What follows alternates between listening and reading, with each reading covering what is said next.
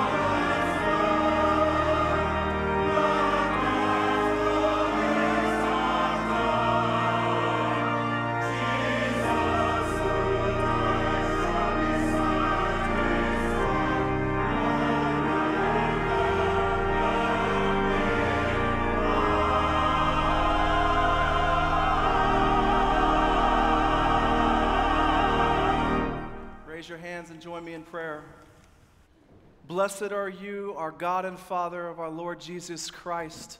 We bless your name for kindly appointing this hour for us. For we know that you have made all things and you have made them well. And yet it has pleased you to dwell among us, your people. And by the Lord Jesus Christ, we may know something of our welcome this morning. We ask that you would guide us, lead us into a greater understanding and knowledge of who you are, that we might know you, the one true God, that we might worship you, that we might become like you, Lord Jesus.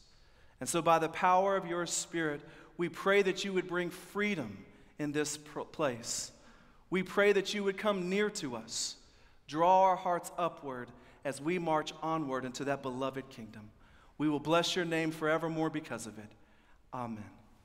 Please remain standing for our statement of faith. Our statement of faith gives us a short yet vitally important summary of how we can live lives pleasing and glorifying to God. Let us answer the 39th question of the Westminster Shorter Catechism together. Christian, what does God require of man?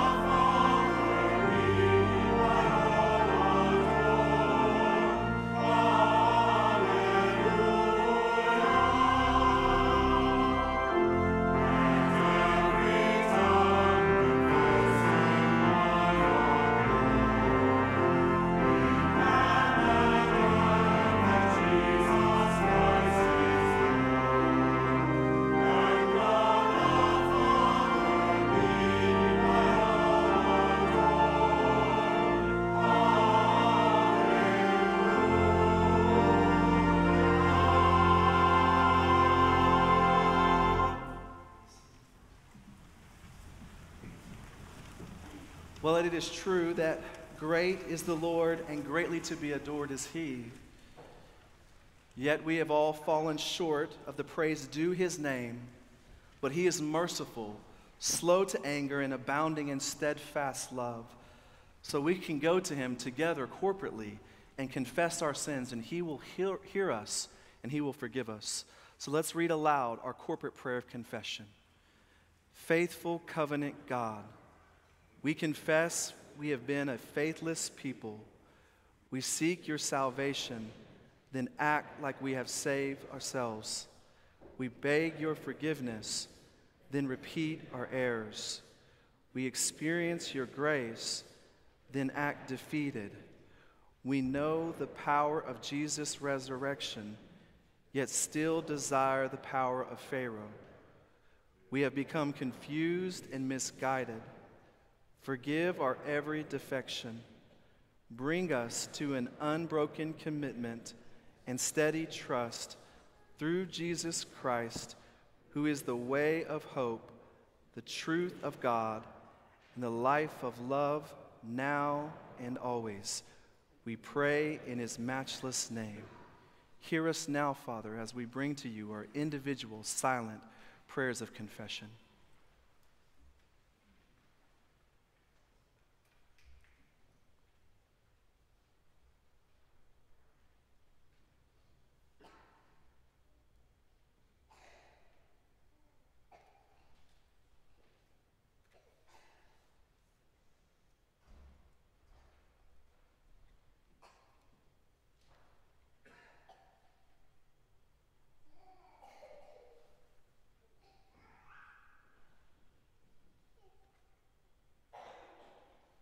Amen. Hear now your assurance of divine pardon. He has delivered us from the domain of darkness and transferred us to the kingdom of his beloved Son, in whom we have redemption, the forgiveness of sins. Christian, if you are in Christ, your sins are forgiven. Be at peace with God. We know that his generosity has no end, so let us now worship God with the gifts of God. Amen.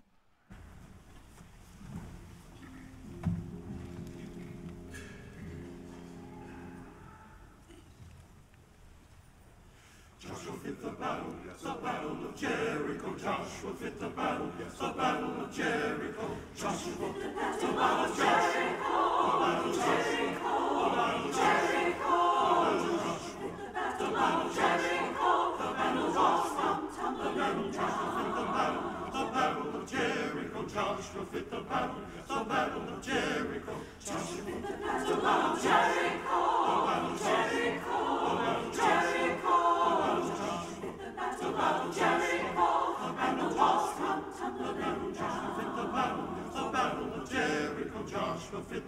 Yes, the battle of Jericho. Talk about your kings of Gideon. Go on, you can talk about your it. men of Saul. Go on, yes, you can talk about it. Good old Joshua and the battle of Jericho. That morning, Joshua, The battle of Jericho. The battle of Jericho. The battle of Jericho. The battle of Jericho. The battle of Joshua. The battle of Joshua. fit the battle, the battle of Jericho, Joshua fit the battle, the battle of Jericho. Right up to the walls of Jericho. Jericho. He marched with spear in hand. Oh, that Lord, thou that dwell, Lord Joshua cried. the battle lamb in my hand. God Almighty, Then the loud battle she boldly guessed. Oh, and the trumpet began.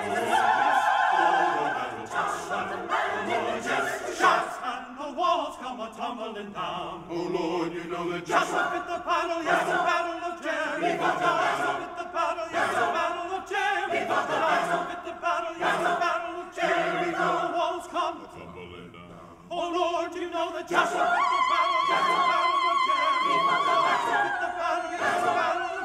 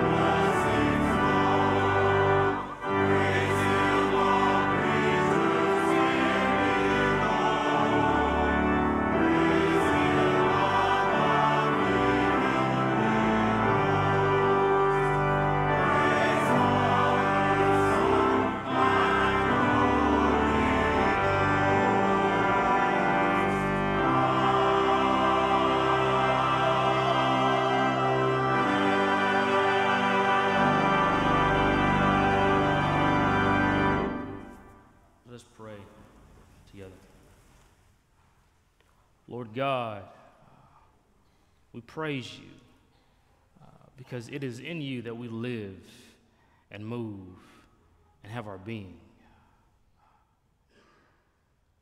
And God, in that, it has pleased you to provide everything we need and more. And we thank you for it. And we thank you for these gifts, Lord, that we can give back to you. And we ask that you would use these gifts to bring your kingdom, kingdom to bear in this world. We pray in Jesus' name. Amen. Now, uh, please take a moment to greet your neighbor, but know this it is okay. Fist bump, bow bump, give a nod. That is sufficient for the day. All right? Greet your neighbors.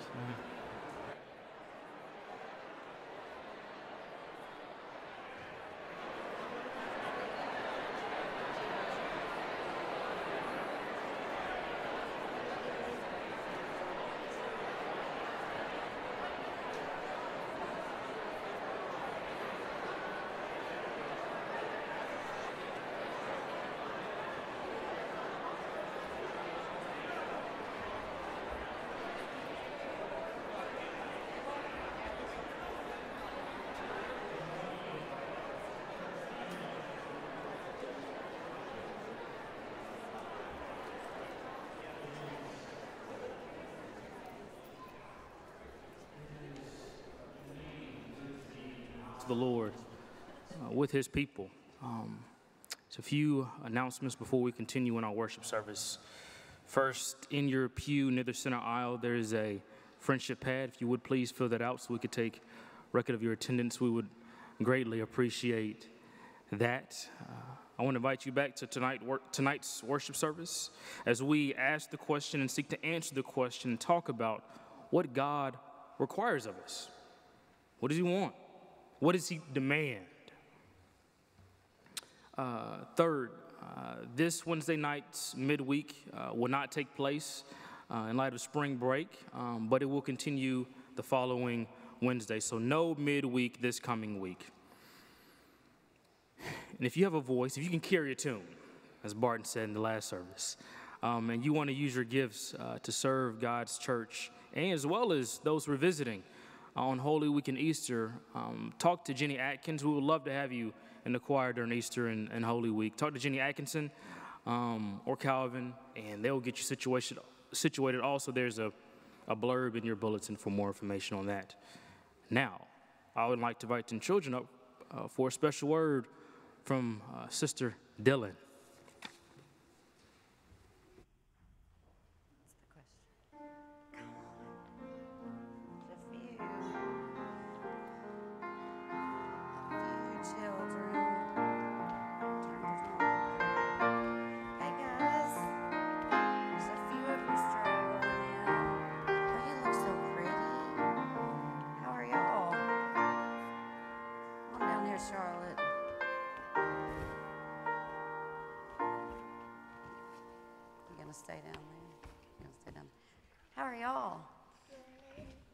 Can tell me whose birthday was this week? Does anybody know? What if I give? No, not not Jesus. Dr. Seuss, that's right, but that's usually a good answer. Um, so, Dr. Seuss wrote lots and lots of books. Hey, guys, hey, come over here, please. Wrote lots and lots of books, and um, Green Eggs and Ham, and Fox, and the Hop and the Fox, or whatever. To win a $50 bet, you're right. Um, yeah, that's right. But one of my favorite Dr. Seuss books. Have y'all heard of this book? Horton Hears a Who. And in this book, I've got a little picture in here. Horton, this elephant, I'm not going to read the whole thing because it's very long. Do y'all see the speck? Can y'all see the speck? He hears a speck and he sees the speck, but he doesn't know what he's hearing. And so he has this little speck, and people try to take the speck. Nobody else can hear or see it. Have y'all read this book before?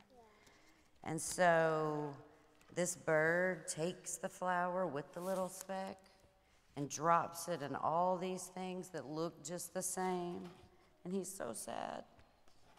And then he searches and searches because he loves that speck and he can hear it. And look, after going through all these, he finds it. And look how happy he is. He's so excited. And there's a lot of things going on on that speck. There's a whole world of people on that speck, and he can hear them and he can see them. That's the wrong one. So, But my favorite part, there's all these things that go on in the book, and I brought a big picture so y'all could see it better, is when he finds the flower with the speck on it. And look, can y'all see it? And look how happy he is. You see, he's got a smile, and look, he's just looking at him like he loves it so much. He's so happy. And sometimes I remember that even if other people can't see or hear me, God can see and hear me. And He listens to me, and He's so happy that I've come to talk to Him, and He would just search the world for me. And so, y'all can remember too that when you sometimes when you feel really small, God still sees and hears you. It's like in the book it says, a person's a person no matter how small. Can you see this book? So let's pray and thank God today.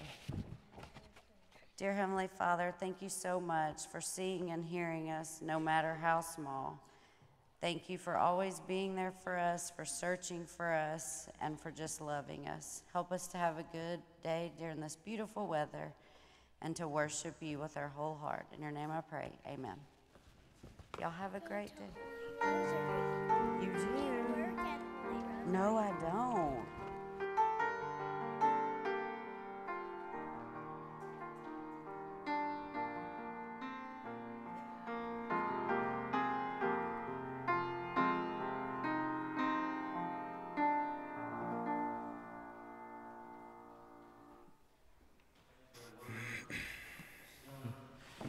That indeed, despite uh, our smallness and seemingly uh, insignificantness, uh, we're not. the Lord knows us, and He hears us, and He wants to hear from us.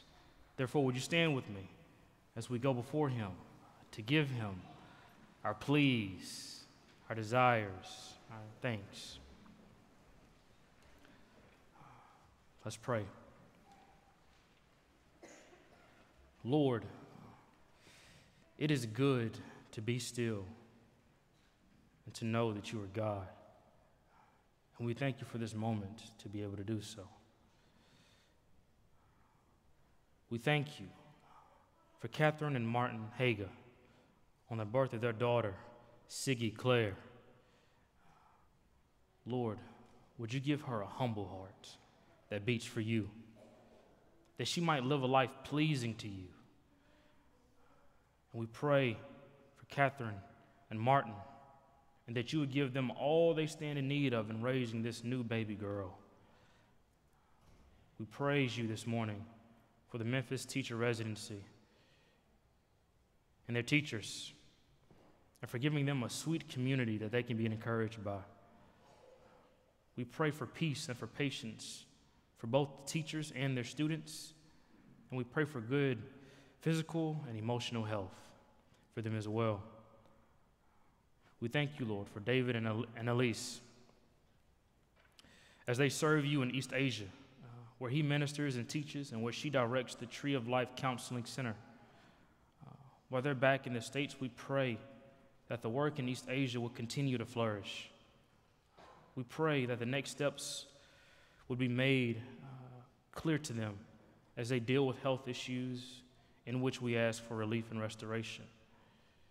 And would you grant wisdom to them as they are deciding uh, when they should return to their country that they're serving in in light of the coronavirus? We pray all this in the name of the one who taught us to pray by saying, Our Father, who art in heaven, hallowed be thy name. Thy kingdom come, thy will be done, on earth as it is in heaven. Give us this day our daily bread, and forgive us our debts as we forgive our debtors. And lead us not into temptation, but deliver us from the evil. For thine is the kingdom, and the power, and the glory forever. Amen.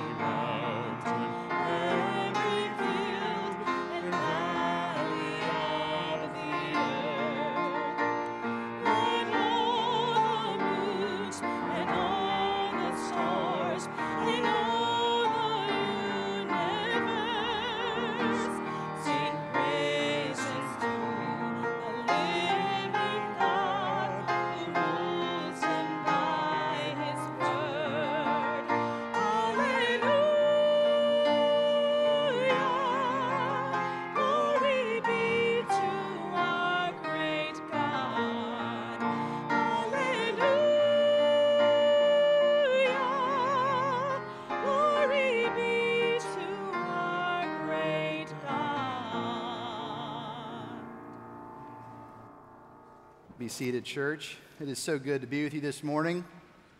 As we open up the scriptures together, I invite you to go ahead and turn your Bibles to Psalm 114. Uh, just to reiterate what uh, BT said in our announcements, um, Holy Week is right around the corner, if you can believe it. And as you would imagine, Holy Week is very important to us here at Second Pres. And uh, our choir and our music ministry would love if you'd like to participate in leading us in worship during those services on Easter and Holy Week. Now, just to, uh, to, to calm your fears, you do not have to hit that high C note that Tabitha and John uh, led us in earlier. So beautiful. Um, but we would love to have you lead us in worship. As the pastoral staff, we would also like to encourage you to begin thinking about and praying over who you might invite to those services.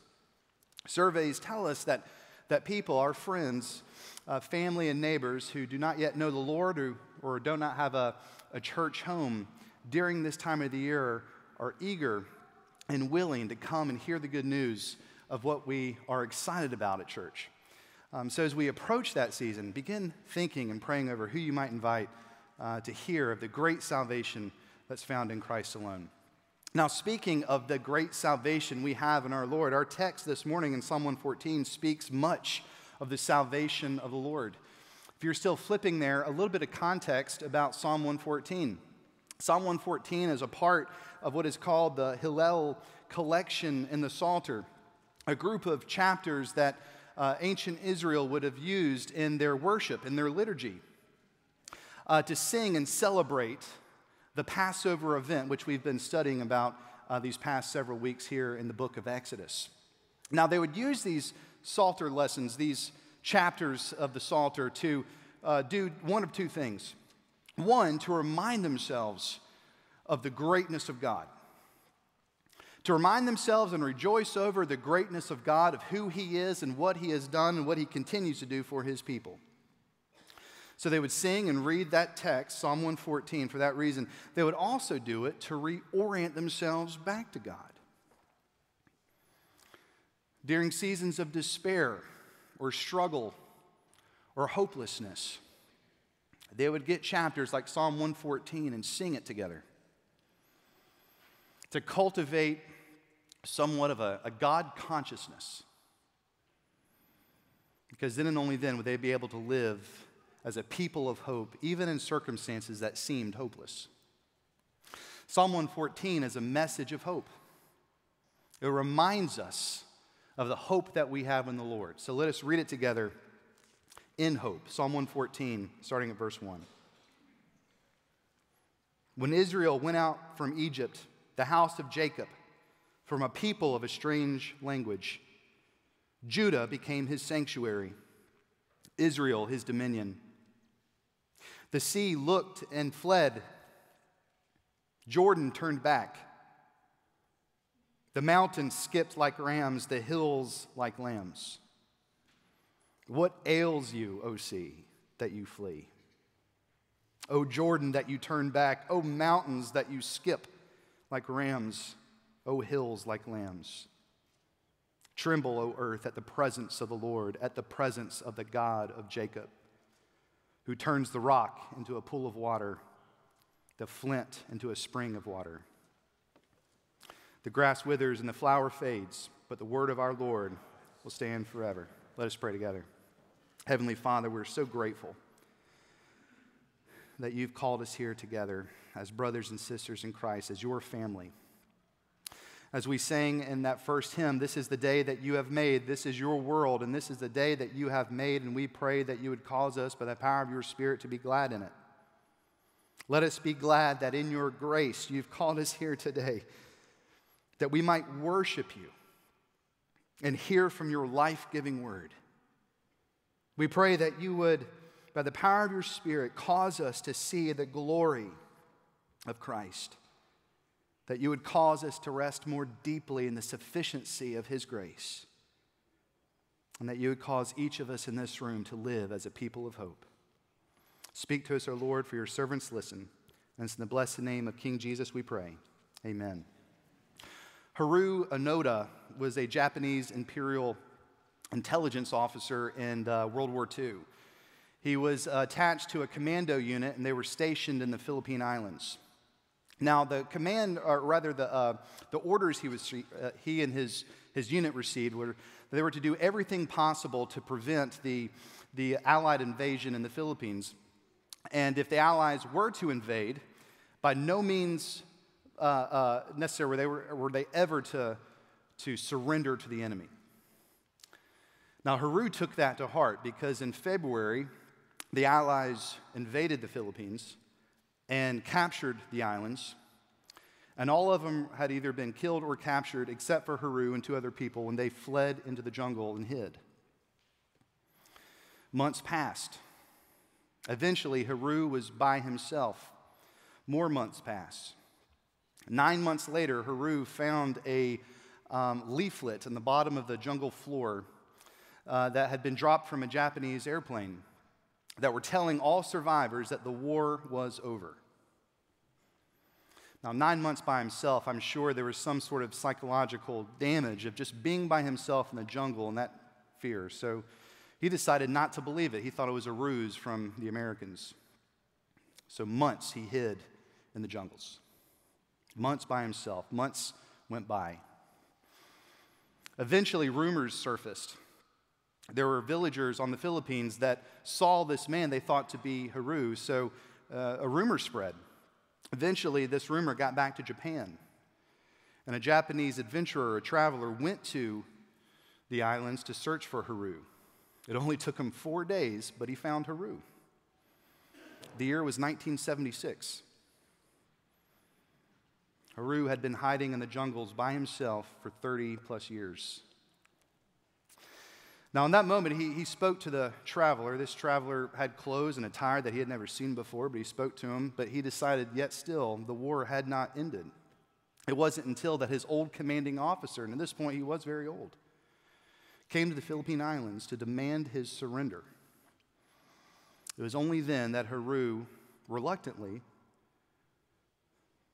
marched out of the jungle and let go of his rifle. 30 plus years. I, I, love World War II stuff. I mean, that is such a fascinating story to me. It's an incredibly sad one, though. Because for 30 years, hiding in the jungle, that poor man needlessly lived in fear, fighting a war that wasn't his to fight.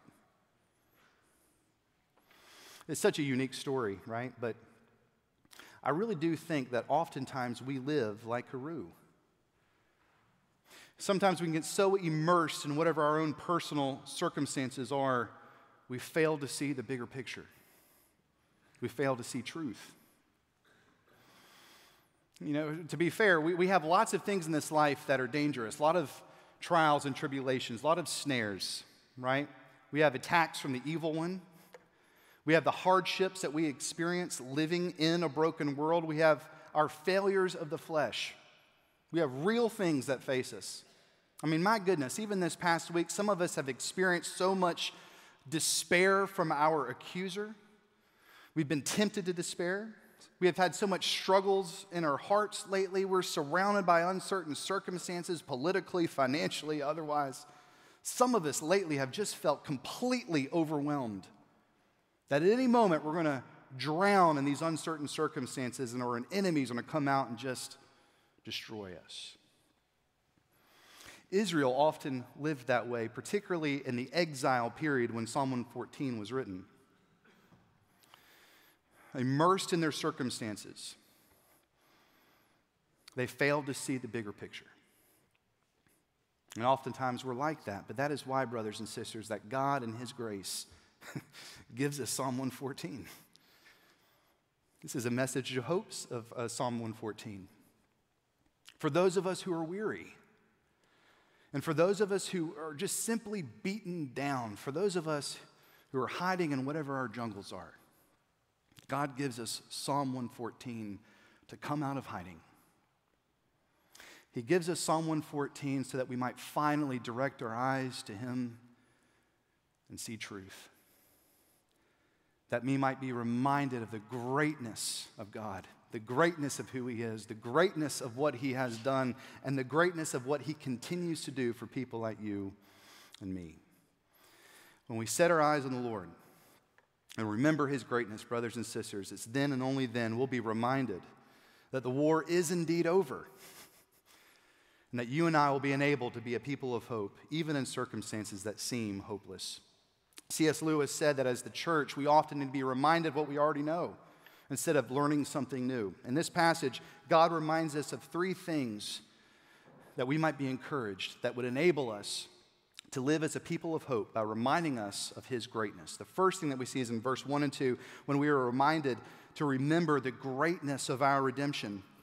In times of corporate struggle, or seasons of oppression or personal failure, the poets and the prophets of Israel would point the people of Israel back to the greatest act of deliverance in the Old Testament, the Exodus account, which we've been studying lately And Sunday morning, going through the book of Exodus.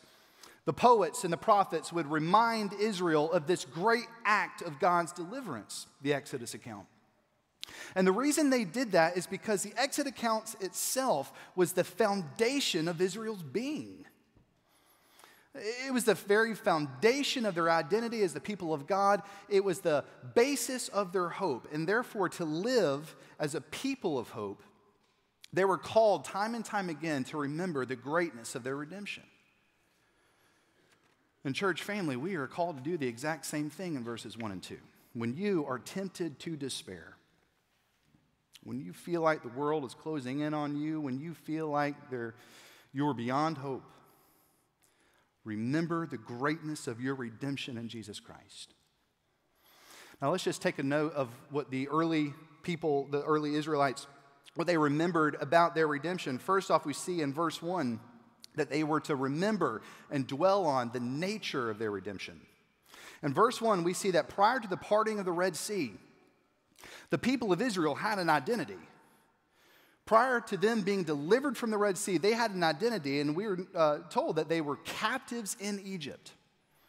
This is what we're reminded of in verse 1, but then the poet adds that phrase uh, they were captives in Egypt. They were, they were in Egypt, a people of a foreign tongue, a foreign language, the writer says. Now, that's very important because when he says that, he's not taking a slight at foreigners or people that speak differently than us. This was a poetic way of summarizing and highlighting the fact that Israel was homeless, that Israel was powerless, that Israel was alienated. Remember, they were captives in a foreign land. They were being oppressed by a people group that did not care or have their uh, best interests at heart. Israel was homeless, they were powerless, and they were alienated. To put it in another way, they were completely incapable of delivering themselves from bondage. They were hopeless. However, as we've been reading about in Exodus, and certainly as what we'll see next week and the week after, it's precisely in those places of powerlessness that God shows up for his people. It's precisely in their place of powerlessness that God, in his grace and his faithfulness to the promises he made Father Abraham, that God breaks into this world to deliver Israel. And it's by reminding us of how powerless they were, this poet shows us a little bit of something about the nature of redemption. And just in layman's terms, the nature of the redemption is, is Israel didn't have anything to do with it. because they were powerless. Just think about these verses. Uh, Israel wasn't delivered because they got better circumstances, they were delivered in spite of their very bad circumstances. Israel did not save themselves, they were delivered by him who was on the outside of themselves. And so, Israel, they would dwell on that in order to remind themselves that even when it seems hopeless, they could be a people that rejoiced because Yahweh was a God of the hopeless. They remembered the nature of their redemption. Secondly, they also remembered the purpose of their redemption. We see that in verse 2. If you look at verse 2, listen, God's purpose in redeeming them, rescuing them, it, it wasn't for economic or political liberty.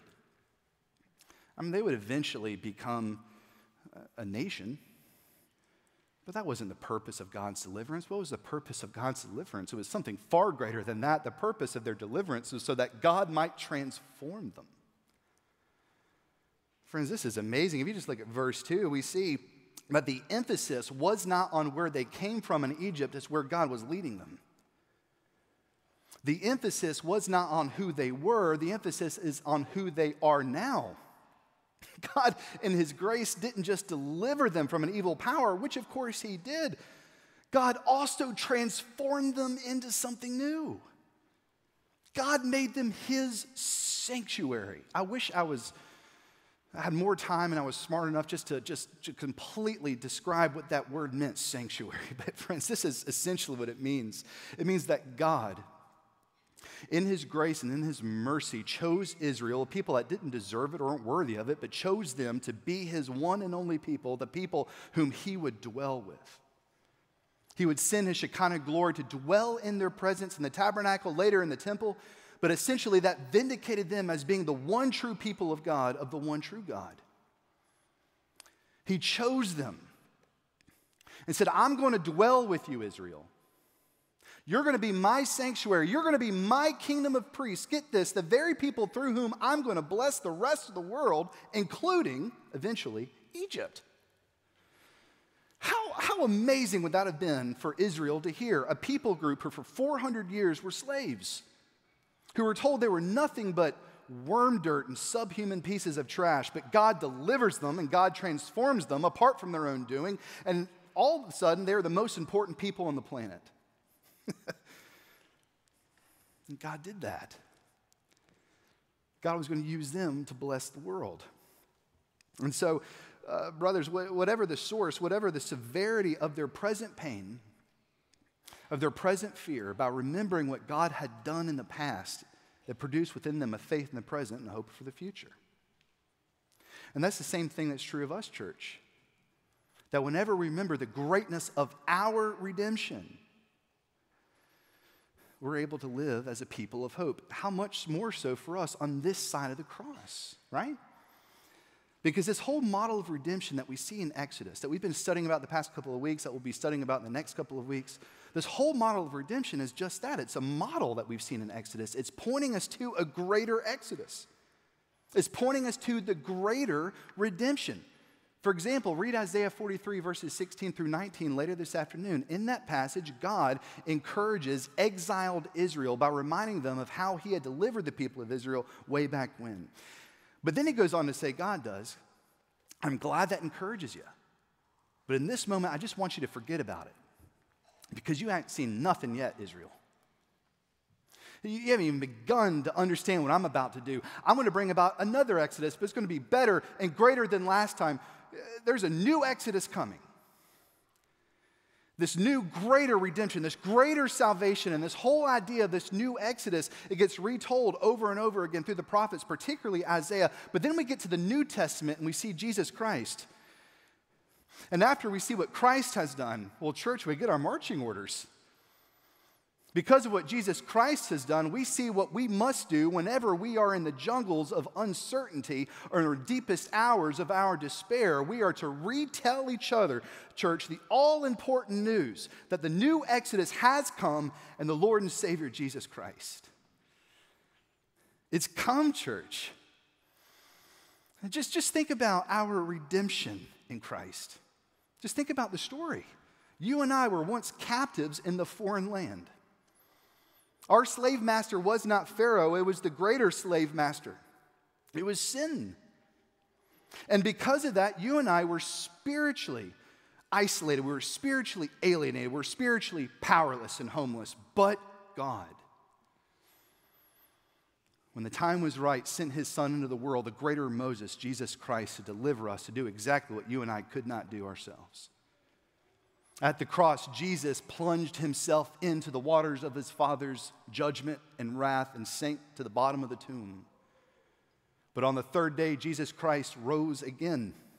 He brought life out of death, salvation out of judgment. Everything we've been studying up to this point has been pointing to the resurrection of Jesus Christ, the day that he would deliver us from the only captor that could ever truly hold us and the only storm and sea that could ever truly destroy us. Church, we were hopeless. But the great news of the gospel is that Jesus Christ is the hope of the hopeless. We need to remind ourselves of the greatness of our redemption, church. This is how we apply this. At least, this is how I'm going to apply it, and hope you would apply it with me. As a fallen human being, I am predisposed of being afraid. and I know the tactics of my enemy, the enemy who also often tempts me to be afraid of my Savior and my Redeemer. Have you ever experienced that when you struggle with a sin or remember past sins? You hear those notes of despair the evil one whispers into your ear. How could you have possibly done that? How could you have done that again, Barton? How could you possibly think that a good and righteous and holy God could ever love a scumbag like you? Have you ever thought that way before? Felt those doubts? Thought those doubts? Church, it's in those times you need to remind yourself of the greatness of your redemption in Jesus Christ. The great news that the war is over, death is dead, and Christ has won. And if you have faith in Him, you're more than a conqueror, too, church. Retell it to each other, retell it to the person sitting next to you. The great news of the gospel of Jesus Christ. If we sin, repent, absolutely, but don't do it in fear. Do it in the great hope of Romans 8 1 that there is now no condemnation for those of you who are in Christ Jesus. In Jesus Christ, the chains have fallen off, our hearts have been set free. When Jesus rose from the dead, when you have faith in him, one day so will you. Where there'll be no more sin in your heart, not even a temptation to sin. And when you behold your Savior face to face, you'll be instantaneously transformed in his glory, where you'll spend eternity with him forever and ever. Don't listen to your tempter or your accuser, listen to your Savior, church. How do we live as a people of hope in a world that sometimes feels hopeless? Remember the greatness of your redemption. Secondly, we're to remember the greatness of God and his power. We see this in verses 3 through 6. Again, he uses such illustrious language here. I can't do justice to all of it, but from some of the imageries, uh, images that we see, I think the first thing that we're to be uh, reminded of in verses uh, 3 and 4 is that there are some very real forces and very real dangers that face us in this life. The Bible's real with those things. If you look at verse 3, we see that imagery of the water in the Red Sea and the Jordan River. Now, not in every case, but in most cases, including this instance, water usually refers to all of the chaotic and evil forces of this world that stand opposed to God. Forces that are greater than us, by the way. Sin and principalities, the evil one, injustices, all those type of things that are greater than us. We see that in the sea. Then we see the word mountain in verse 4. Now, there's, that could refer to many different things, but I think the easiest read to view mountain is simply an immovable object. things that are certainly beyond our control, things like death, disease, disaster. Things that are such, have greater power than us. The Bible's real with those things. We need to be real with those things. But the Bible's also real about this whatever is greater than you, it is never greater than our God. Our God holds all power and authority in the palm of his hand, church. And the poet reminds us of this. We see this in the Exodus, the crossing of the Red Sea or the crossing of the River Jordan, particularly at the cross of Jesus Christ. We see that everything that is greater than you, everything that's greater than me, all of those things are pushed back at the mere sight of the Lord Jesus Christ. His voice splits the oceans. His presence causes the mountains to shake. There's nothing greater than our Lord. Then, of course, we get to Revelation, and we're reminded of every single Sunday after our sermon passage, like we just read in Isaiah, that whatever stands opposed uh, to God in this world one day will crumble and be remembered no more. What are we reminded of every single Sunday? The grass withers and the flower fades. Heaven and earth might pass away, but what stands forever? God's word and his promises to you and me. That stands forever. There's nothing greater than our God, church. He is all powerful. And the poet's point then is to invite us back into a God consciousness. Sometimes we can get so stuck in our circumstances, we forget to have a God consciousness, to live in light of true reality. What is a God consciousness? Is when we, as the people of God, start viewing our circumstances in light of how awesome and great and powerful God is. I think more than ever we need to, to cultivate a God consciousness. I mean, just think about the culture in which we live. We have clickbait articles all over the place. I read them all the time. I know I shouldn't, it gives me anxiety, but they're all over the place. We have 24 7 hour cable news networks that we spend way too much time watching. All of those things, all they do is disciple us into believing that the world is falling apart, that the sky is falling. But then it also convinces us, too, that the only thing that we really need to fix that is a new politician or a new policy or maybe a little can do attitude from ourselves because maybe we're the ones to fix it. And we actually sometimes believe that. and, and we wonder why we have so much anxiety and pressure and fear and sometimes anger. A prayer that I have for myself and a prayer that I have for you is that God in His mercy would deliver us from the news. Because on the one hand, the news and Twitter and all that other stuff, it completely undersells the, the, the true danger this world is in. It has a very narrow focus of what the danger is in this world. We know what the true danger is in this world. But on the other hand, it completely fails each and every way, every time of pointing people to where true hope and help is found. The world says, look to yourself or look to others to find help and hope. But the Bible says, why in the world would you do that? Why would you look to him who has overcome the world?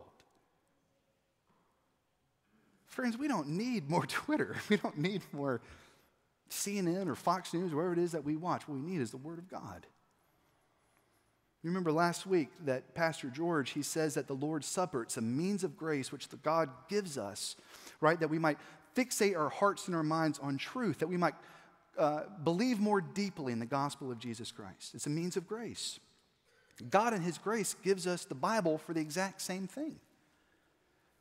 It's His spoken word, it's a word of life. And when we deal seriously with God's word, when we disciple ourselves in God's word, when we disciple each other in God's word, when we abide in God's word, you know what happens? You and I develop a defiant faith. Not a pie in the sky faith, not a head in the sand type of faith, but a defiant one, a courageous one. If you don't believe me, look at verses 5 and 6. I mean, 5 and 6, I think they're actually kind of hilarious. If you look at verses 5 and 6, they're rhetorical questions. Just read those for a second. Do you know what verses 5 and 6 demonstrate for us? It demonstrates for us that the person that has a word informed heart and a word informed mind becomes one of the world's greatest trash talkers. That's what verse 5 and 6 say to me. I mean, look at it. What ails you, O sea? Do you remember what sea means? It means some evil demonic stuff. He goes, What ails you, O sea? What causes you to flee? Oh, big and bad mountains, what causes you to frolic away like a little lamb?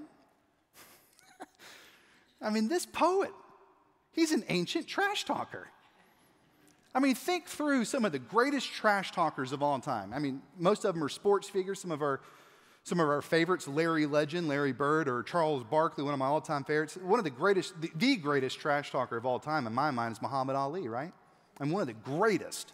That guy just exuded self confidence, right? Facing Joe Frazier, 6'2, 250 pounds of muscle. Muhammad Ali says, If you ever dream about beating me, you better wake up and apologize. One of the coolest things that you could ever say in that situation. I don't have that type of confidence. I wish I did.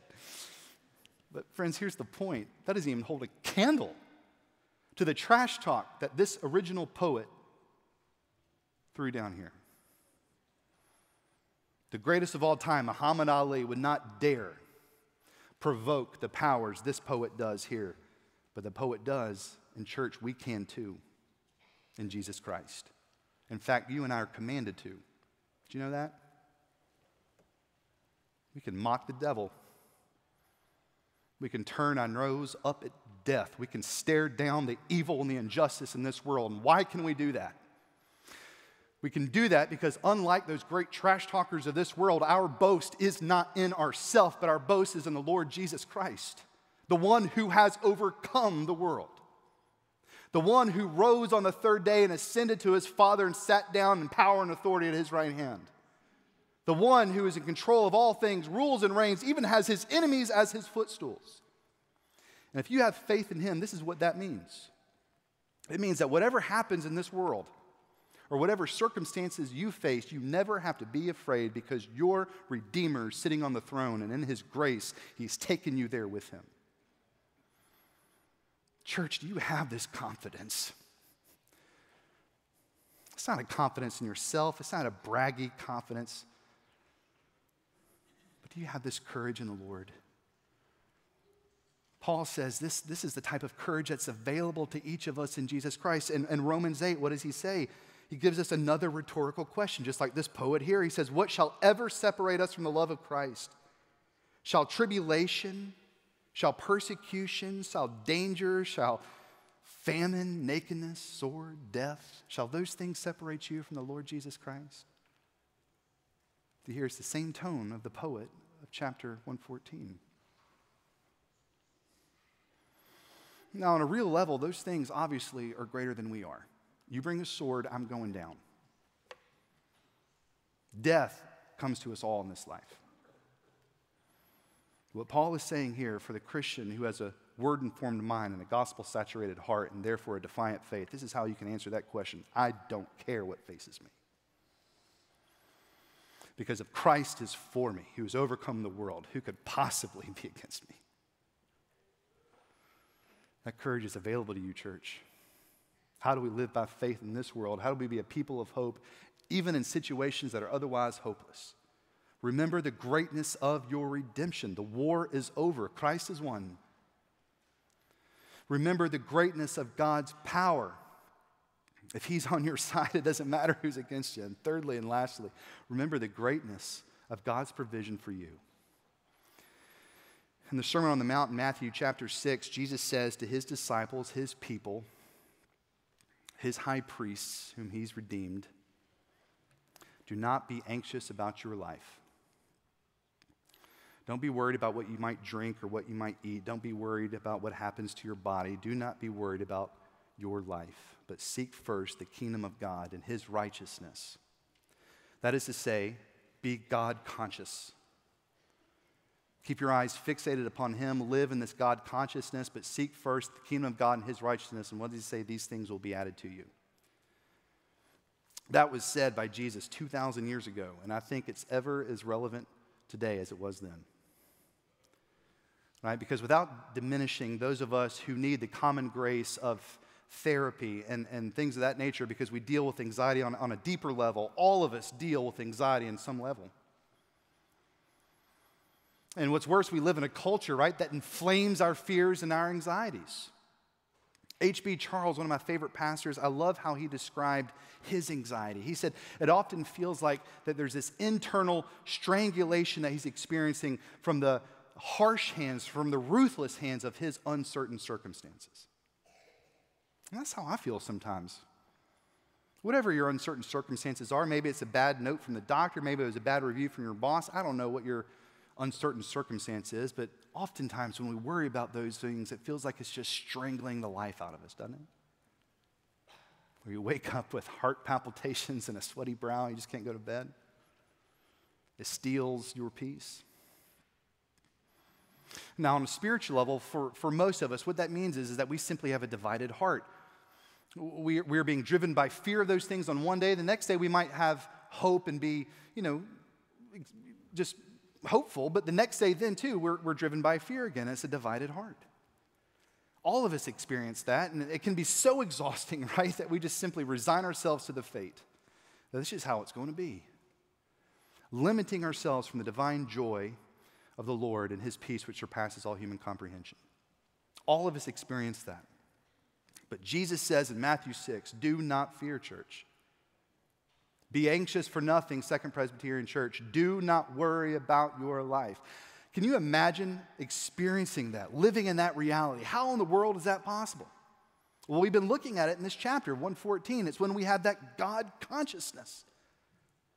When we view our circumstances in light of how great God is rather than the other way around.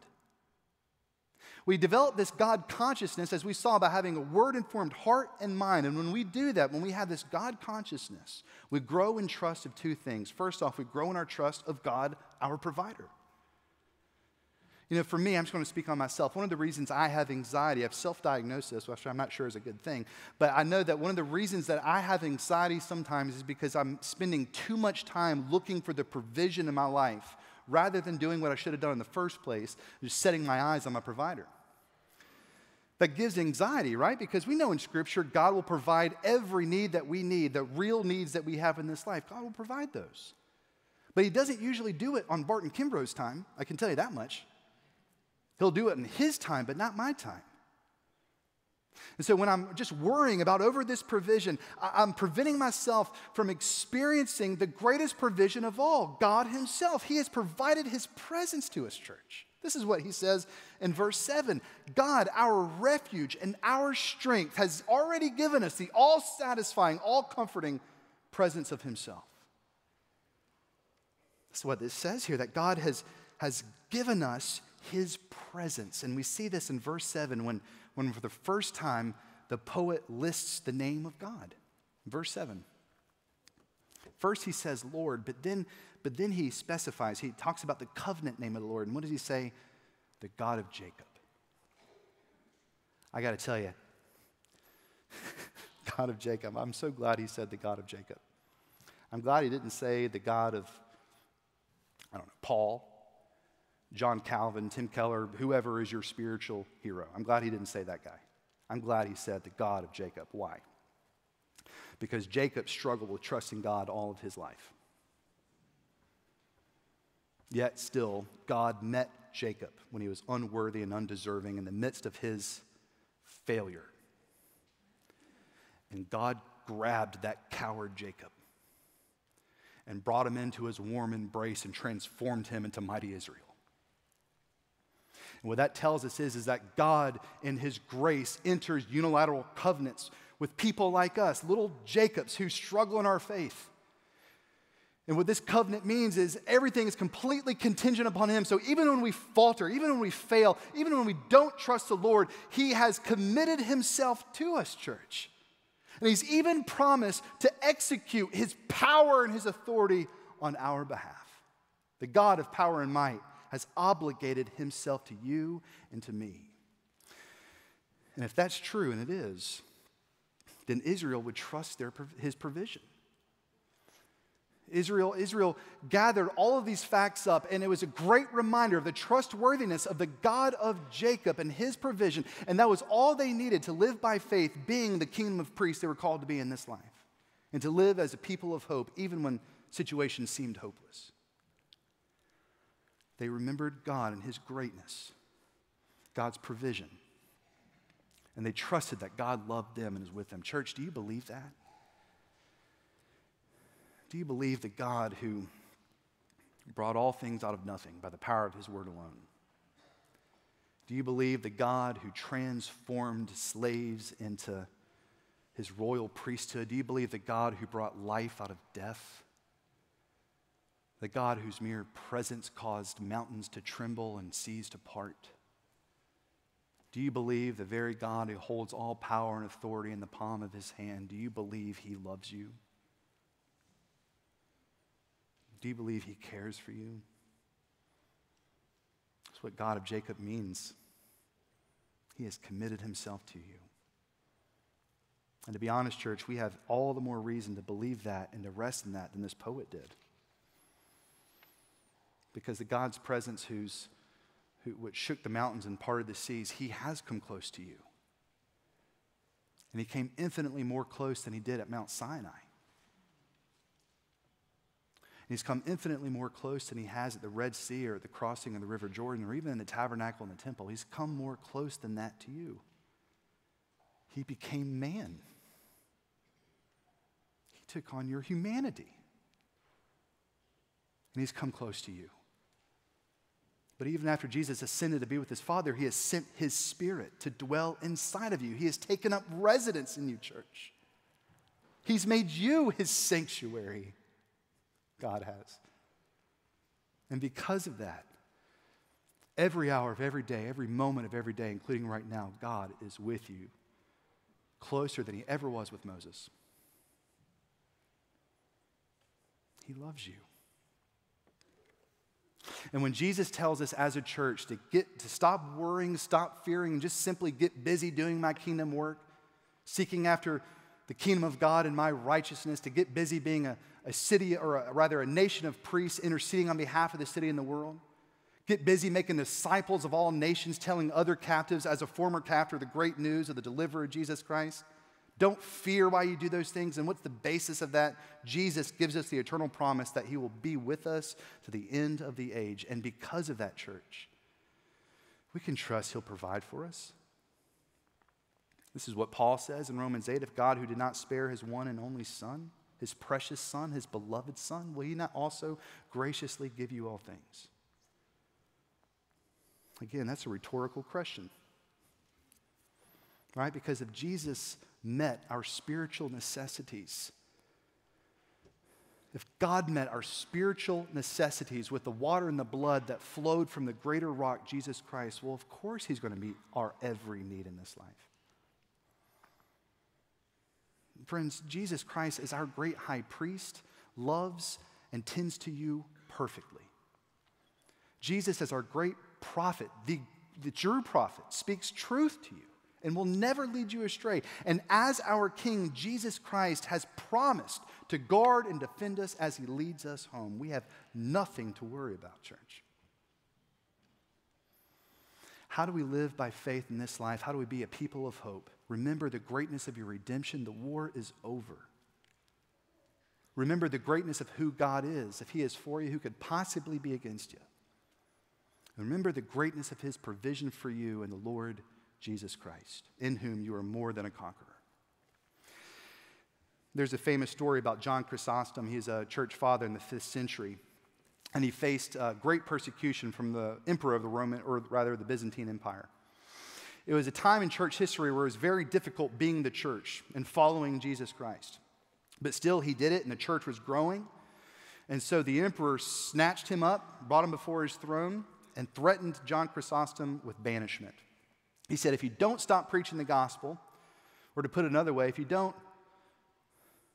stop spreading the good news of Jesus Christ and simply go back into whatever jungle you came from, I'm going to kick you out of the kingdom. Now, back then, that was a big deal. That meant certain death. This is how John responded. He says, You cannot banish me. Speaking to the emperor of the Byzantine Empire, you cannot banish me, for this world is my father's house. The emperor says, But I will kill you.